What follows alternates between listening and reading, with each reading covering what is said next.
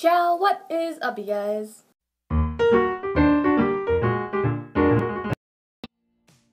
Could I just take five minutes to talk about periods? And there goes the male audience. But seriously, I think every girl can agree with me when I say periods freaking suck. I mean, every week for a month, you gotta wear a diaper, it hurts, it's weird, your hormones are everywhere, and honestly, it just sucks to bleed out of your vagina. And don't even get me started on the social aspect of it all.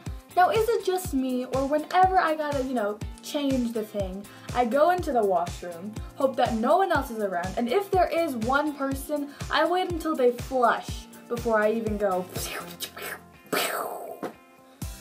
fresh. Did I just mimic how to change a pad in the most retarded way? Yes. Well, anyways, every girl experiences their period in a different way from another one, so I thought I would tell you guys the types of girls on their periods. Again, goodbye male audience. Number one, the sympathy seeker. Now this is the girl who always blames everything on their period. They want sympathy, they want your attention, they want someone to understand what they're going through, and you know why? Because I'm on my period. Hey, why aren't you doing gym? I'm on my period. Why are you being such an ass? It's cause I'm on my period. Why did you steal a car? I was craving things cause I'm on my period. There was actually this girl I knew who told this guy, You have to be nice to me cause I'm on my period. Can't make this ish up, these girls be cray. Number two, the aliens. Have you guys ever seen Alien vs. Predator? Cause I watched it recently, and if you haven't, you should at least know this scene. Oh yeah, it's beautiful. Yeah, that is how these girls feel. Now the reason I call these girls aliens is because in the movie, the aliens kind of are given birth that way. They they have this weird crab spider vagina thing go on their face and then aliens go out of their chest and um, that's how girls feel like sometimes. Yes, sometimes girls feel like there are aliens coming out of their chest. That is not what I mean. I just mean it freaking hurts for those girls. Yeah, sure, everyone gets that occasional cramp or headache or sometimes even a migraine, but these girls, these aliens, they have it rough. Like, it could be way worse. So in seventh grade, I was eavesdropping in the washroom, like I always am, when I overhear this conversation. Why weren't you here last week? Eh, I was on my period. You weren't here for a week because of your period? Yeah, well, mine are really bad. Like, my stomach hurts so much to a point where I can't even move. My head, it just hurts to think. And all I can really do is lie in bed and sleep because everything else just hurts so much when I'm on my period. Wow, that really sucks. Want to talk about boys?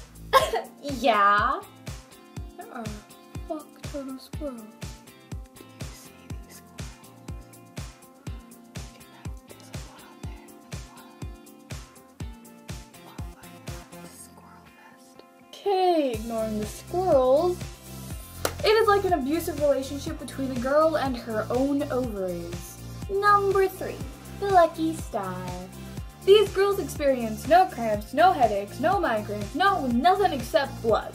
These are the girls who also never talk about their periods, never talk about periods, and just never want to mention the B word in the first place. I mean, there's nothing wrong with that. In fact, guys probably like these girls more because they don't have to complain constantly about cramps and headaches and so on and forth.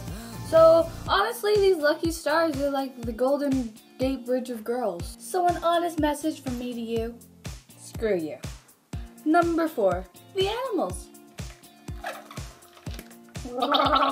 My attempt at a mating call. Now there's only one word to describe these girls. Thirsty. When it's their time of the month, it is mating season. Now, it would be great for the guys if the girl is cute and she's all cuddly and canoodly and touchy and feely and basically um, on your dick. But for other girls, it's kind of just like, Granted, there are a lot of girls who are just naturally touchy, feely, mushy, and I guess nice. But um, the ones who are actually on their period will say things like this. I wish I had a boyfriend. With best friends. You know, I'm actually really dirty when you get to know me. Yeah, when the week is up, you say penis and they cringe. Why the fuck you lying?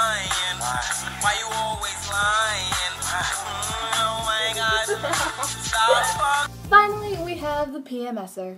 This is the scariest thing you're ever going to meet. They are the human embodiments of anger, fear, sadness, melancholy, horror. They, they are living nightmares. And it doesn't stop there. You thought they had it bad? If you know one, you're a dead man. But the worst part of it is, we're all PMSers. So sleep well tonight, children. For tomorrow, we hunt.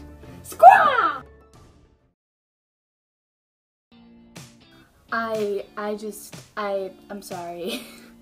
so that was it for me this week. Which period personality are you? Assuming you're a girl and you're still watching. And if you're a guy and you're still watching, congrats to you. Which period personality is your sister or friends or other female acquaintances? I'd really like to know. I've got big plans for the next two weeks and I can't wait to share it with you. So stay tuned for next week. Thanks for watching and Coda.